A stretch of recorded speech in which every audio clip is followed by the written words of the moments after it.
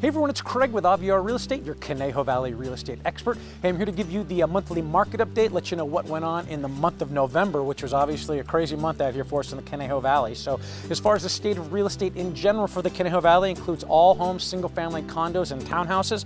There's an 800, or excuse me, 486 current listings on the market, just over $930 million of total volume. So markets come down a little bit as far as uh, total volume, list prices that we had over the summer, but um, certainly still strong here in the Conejo Valley. As far as uh, last year compared to this year, there were 233 homes sold in 2017 for a medium sales price of 750, and year to date for this year, uh, 2,147 for a medium sales price of 779. So up 3.86%, uh, still pretty strong here out in the Conejo Valley, even though fewer homes have sold, prices have still increased on a year-over-year -year basis. So uh, as far as uh, how things have been going in general, new listings for the month of October, we had 161, down 34 percent from uh, 247 in October.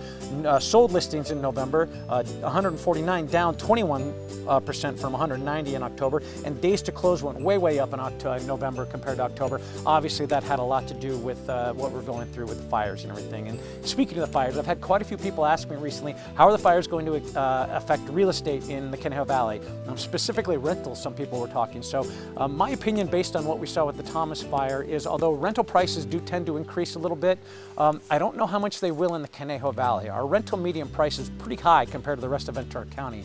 So people that have lost homes are still having to deal with mortgage payments, um, depending on what kind of insurance they had, and then try to get a, uh, a, rental price that's as high as they are out here in the Conejo Valley might be kind of tough. So I don't see it having a big effect here on the Conejo Valley. They're not going to go down, I can tell you that, but I don't think they're going to jump up real high. So um, if you're looking to rent, I think you're still safe to do that. I would look to get in sooner than later on that because people are trying to figure things out and you never know how things are going to go. So that's about it, guys. If you have any questions about what your home might sell for, if you need any uh, service providers or people to help with repairs on your home, feel free to give me a call. I'm always here, uh, have those readily available for you. And keep this in mind, guys. When making one of the most important decisions of your life, experience and knowledge are important, and more than ever now, who you work with matters. So keep that in mind when either hiring or referring your next realtor. Thanks, guys. I'll talk to you later.